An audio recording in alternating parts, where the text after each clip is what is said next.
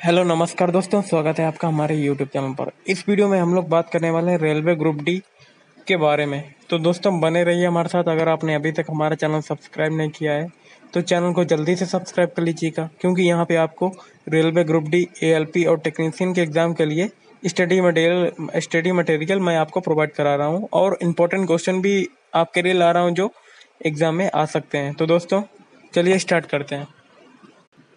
तो दोस्तों, मैंने कल का एक वीडियो बनाया था जिसमें जिनका आरआरबी ग्रुप डी का फॉर्म रिजेक्ट हो गया था, उनके लिए एक नई नोटिस आई है, जो कि सरकारी रिज़ल्ट डॉट कॉम पर आपको मिल जाएगी।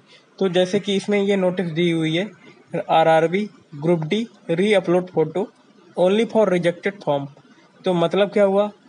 जिनके फॉर्म रिजेक्ट हो गए हैं फ़ोटो की वजह से तो वो री अपलोड मतलब फ़ोटो दोबारा अपलोड कर सकते हैं।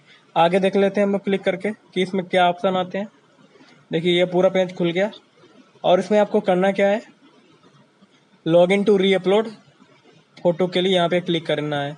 और आपने जिस भी जोन से भरा है, उसको आप चुन लीजिए। जैसे कि इलाहाबाद जोन से यूपी के लिए इलाहाबाद जोन हो गया। तो यहाँ पे ये पूरी विंडो खुल जाती है।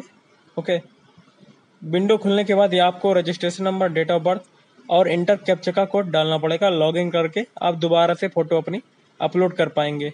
तो ये थी आज की सबसे बड़ी खबर। अगर अगर आपको वीडियो पसंद आए, वीडियो को लाइक करिएगा शेयर करिएगा, और हमारे चैनल को सब्सक्राइब कर लीजिएगा।